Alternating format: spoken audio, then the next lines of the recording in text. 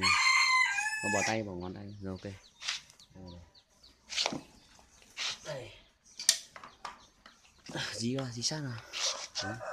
Ờ, báo cáo với ờ, bác Tài. Bác Tài ở ờ, đâu đây? Ở thành phố ờ, Vinh. Ở đường Nguyễn Chí Kiên thành phố Hồ Chí, Minh. Bác Tài bác làm về đông y. Thì ờ, bác ờ, chuyển khoản 2 triệu rưỡi để cho bác con chim này là con chim giọng thổ cườm rắc. Đó và con chim này thì à, được à, đóng khuy khuy đồng. Khuy đồng này à, đóng từ nhỏ là giống chim của, của Thao.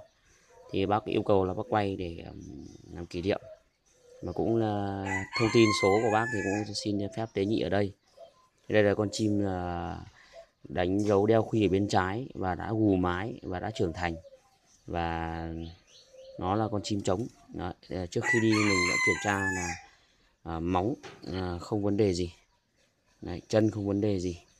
Và mình cũng à, sẽ cho nó à, à là nó giống chim là nó, nó, nó ờ, đã già chim rồi. Và nó nó là con chim rất là là là là, là, là đầu xanh ngực rất là hồng. Tất nhiên là tuy nhiên là đây là mình nuôi nhiều về bác về làm dâu nhà bác là nó sẽ tăng lên đó. Thì uh, gửi bác tài cái clip này. Đây là con chim rất là to ngực hồng đó. còn tất nhiên hôm nay bắt thì nó cũng hơi có tí giật mình. Bác về chắc dưỡng mất khoảng mấy hôm. Đó, chân rất là đỏ. Đó, chân rất là đỏ. Chân rất là đỏ. Đánh ờ, đánh dấu khuy. Đó, đầu mỏ. Không tật lỗi gì.